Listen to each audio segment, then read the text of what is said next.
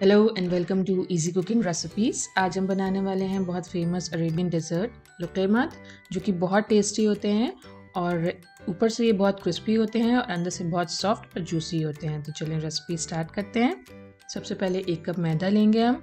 उसमें डालेंगे एक टीस्पून ईस्ट अगर आप ईस्ट नहीं डालना चाहते हैं तो half teaspoon baking powder और half teaspoon baking soda डाल लें। तो अगर आप ईस्ट नहीं डाल रहे हैं तो ये दोनों चीज़ें डालनी हैं। और अब हम डालेंगे एक टेबल स्पून कॉर्नफ्लावर और दो टेबलस्पून दही।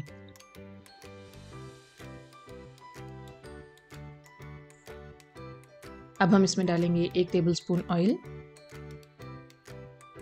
आप चाहें तो घी भी ले सकते हैं और इन सब चीज़ों को अच्छे से मिक्स कर लेंगे।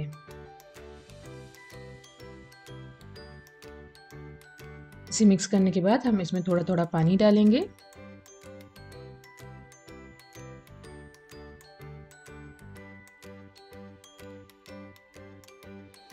ये अच्छे से मिक्स हो गया है। अब हम इसमें थोड़ा थोड़ा पानी डालेंगे। पानी ल्यूक वॉर्म लें।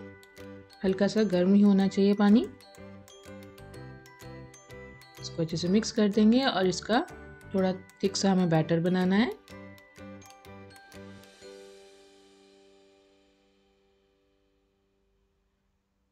देखिए, इस तरह का बैटर होना चाहिए। और जब इतना हो जाए बैटर इस कंसिस्टेंसी का तो आप पानी और ना डालें। देखिए, इस तरह से होना चाहिए। काफ़ी थिक सा। और अब हम पानी नहीं डालेंगे और इसको बहुत अच्छे से बीट करेंगे लगभग चार से पाँच मिनट के लिए, ताकि ये अच्छे से फ्लफ़ी हो जाए। मैंने यहाँ हाफ़ कप पानी यूज़ किया है। आपको ज़्यादा की भी ज़रूरत पड़ सकती है। तो देखें अभी तो ये इस तरह का कंसिस्टेंसी है इसकी, लेकिन हम जब इसको बहुत अच्छे से बीट कर लेंगे तो ये और स्मूथ हो जाएगा।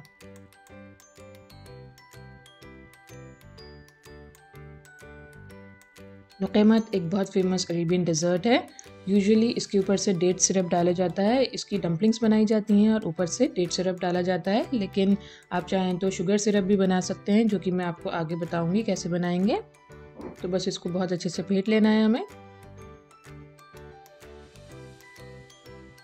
तो चार से पाँच मिनट फेंटने के बाद देखिए इस तरह की कंसिस्टेंसी हो गई है। ये फ्लफ़ी सा हो गया है और स्मूथ कंसिस्टेंसी हो गई है इसकी। अब हम इसे राइस करने के लिए रखेंगे। बस इसे कवर कर देंगे हम और राइस होने देंगे। अगर गर्मी है तो जल्दी राइस हो जाएगा, एक घंटे में भी हो जाएगा और अगर विंटर्स है तो लगभग दो से तीन घंटे भी लग सकते हैं। तो बस इसे कवर कर कर रख देंगे राइस होने के लिए जब तक कि हम इसकी शुगर सिरप बनाते हैं। शुगर सिरप बनाने के लिए यहाँ पर मैं दो कप चीनी ले रही हूँ और अब हम इसमें डालेंगे एक कप पानी और हाफ़ लेमन जूस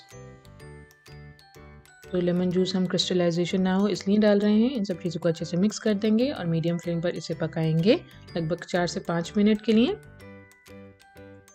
जैसे मैंने कहा, इसमें डेट सिरप डाला जाता है यूजुअली तो आप अगर हेल्दियर ऑप्शन चाहते हैं तो डेट सिरप भी डाल सकते हैं। डेट सिरप से भी ये बहुत टेस्टी लगता है। तो देखें, ये अच्छे से मिक्स हो गई है इसमें शुगर और चार से पाँच मिनट हो गए हैं इसे पकते हुए। अब हम इसकी कंसिस्टेंसी चेक कर लेते हैं। तो ये एक तार की चाशनी चाहिए हमें। हम इसको लेंगे। देखें, इस तरह हल्का सा एक तार आना चाहिए इसमें। ये थोड़ी स्टिकी सी आपको लगेगी। तो देखें, इस तरह होना चाहिए।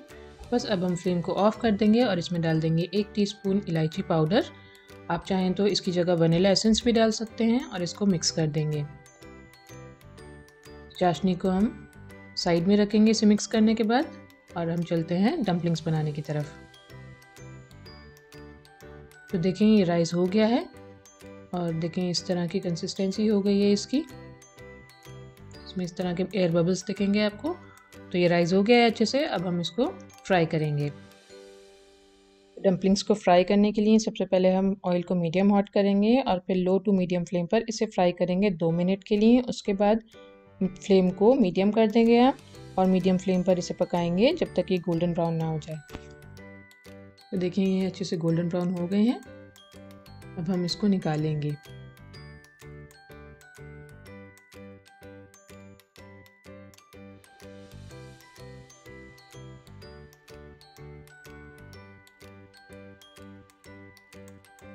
इसको हमने चाशनी में डिप कर लिया है। चाशनी किसी डीप बोल में ले लें ताकि इसमें अच्छे से डिप हो सके और इसको आठ से दस मिनट के लिए इसी में रहने देंगे।